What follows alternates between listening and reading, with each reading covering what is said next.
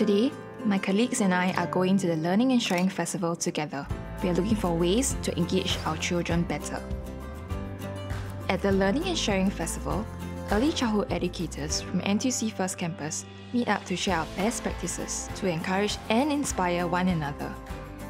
At the festival, we learn new teaching techniques from other teachers and saw various teaching aids.